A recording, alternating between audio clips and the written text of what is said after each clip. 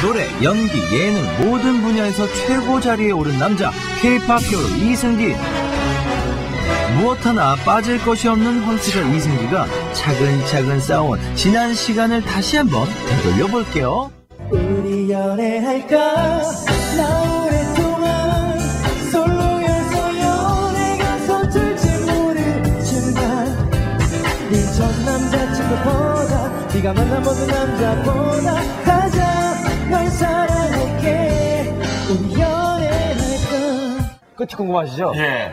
다음 주에 이어지는 방송을 오래 안 하시는 그걸 알려주면은. 아니 전 이승기 씨랑 윤아랑 어떻게 엮어주려고 나왔는데 오늘 우리 키스할까? I love you. 이런 달콤한 말 해주고 싶은데. 나 용기 남자 돼